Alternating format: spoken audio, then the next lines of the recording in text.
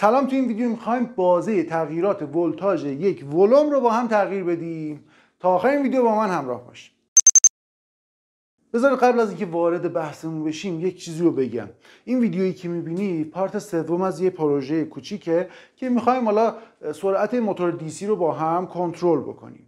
توی ویدیوهای قبلی گفتیم که مدارات کلاسیک برای این کار چه ایرادی دارن و رسیدیم جایی که ما باید یک ولتاژ متغیر در یک بازه خاصی رو تولید می‌کردیم با استفاده از ولوم.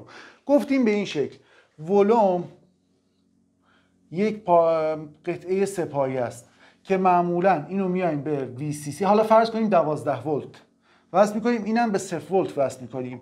حالا با چرخوندن اون محور ولوم ولتاژ این پایه بین 0 تا 12 تغییر پیدا می‌کنه.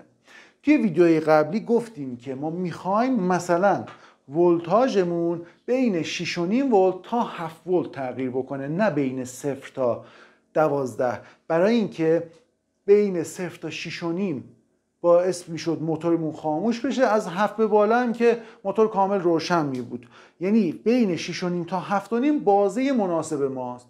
حالا یکم بازه رو بزرگتر بکنیم که محاسباتش هم یکم درکش راحت تر بشه. بگیم بین 6 تا 8 ولت مثلا. بگیم 6 تا 8 ولت. می‌خوایم که این ولوم رو بچرخونیم. این ولتاژ بین 0 تا 12 تغییر پیدا نکنه. بین 6 تا 8 تغییر بکنه. گفتیم برای این کار باید دو تا مقاومت بذاریم. یکی R1 یکی R2 خب حالا فرض کنیم این ولوممون هم یک کیلو اوهمیه یک کیلو باشه اینم یک کا باشه. چون این ولوم هم انواع مختلف داره دیگه. حالا فرض کنیم این یک کیلوه. شما اگر اینو مثلا ده کیلو بذارید پنج کیلو بذارید این مقدار آریوکا آردو تغییر پیدا خواهد کرد. حالا این دوازده ولت هم اگر تغییر بدید باز آریوکا آردو باید تغییر بکنه که با بتونیم ولتاژ بین 6 تا 8 رو داشته باشیم. خب کمترین حد ولتاژ کجا به دست میاد؟ زمانی که زمانی که این ولوممون اینجا باشه. ولوممون اینجا باشه. یعنی این قسمت وصل شده باشه. مدارمون به چه شکلی در میاد؟ به این شکل. بذار اینجوری بکشم. اینجا که دوازده رو داریم اینجا R1 اینجا وصل شده به یک مقاومت یک کیلو یا هزار اوهم. بعد اینجا هم که وصل شده به R2 تمام. از این قسمت ما ولتاژ رو می‌خوایم که برداریم و می‌خوایم کمترین ولتاژمون هم 6 ولت باشه. بگیم 6 ولت. حالا یه مدار دیگه هم ما داریم که اون حد اکثر ولتاژ هست. به چه شکلی این ولوممون به جای اینکه اینجا وصل بشه اینجا وصل باشه؟ در این حالت چه اتفاقی میفته؟ همون دوازده رو که اینجا داریم آریه کرم که اینجا داریم. خب این میاد پایین یک کیلو با این آردوه جمع میشه آردو هزار اوم. از اینجا باید هشت رو بگیریم. بر اساس قانون. بذار اینو من با ماژیک قرمز اینا رو جدا بکنم. فکر نکنید که این دوتا با هم یکی. این یه مداره اینم یه مداره دیگه است. از هر کدوم از اینها یه معادله به دست میاد. یه معادله به دست میاد. به چه شکلی؟ ما میگیم که قانون تقسیم مقاومتی رو که می‌دونید.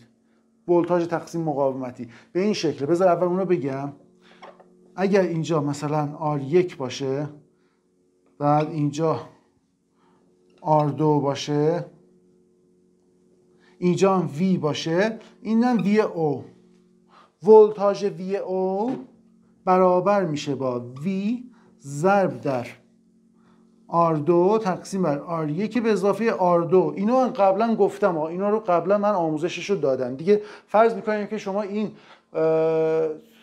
فرمول ها رو بلدید. خب فرمول ها رو بلدید. خب در این حالت دو تا معادله از این به دست میاد. وی او که این هشته. برای این اولی بنویسیم هشت. مساوی این وی مون که دوازده. دوازده ضرب در R2 به R2 اینجا ببین این دوتا با همه. R2 به اضافه هزار. تقسیم بر R1 به اضافه R2 به اضافه هزار. بعد برای این یکی هم یه معادله به دست میاد. میگیم 6 مساوی 12 ضرب در R2 تقسیم بر R1 به اضافه R2 به اضافه 1000 خب. دو تا معادله به دست نیومد.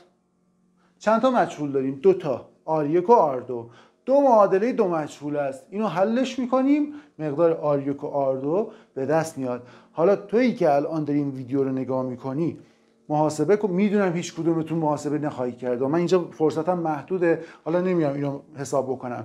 توی ویدیوهای بعدی حالا مقادیر واقعی خواهیم داشت. این ولتاژ واقعی این دوتا ولتاژ مثلا 6 و 8 هم واقعی. این ولوم هم که داریم اونجا من میام محاسبه می‌کنم در مورد اون مدار خاص. ولی اینجا دیگه من فرصتم محدوده.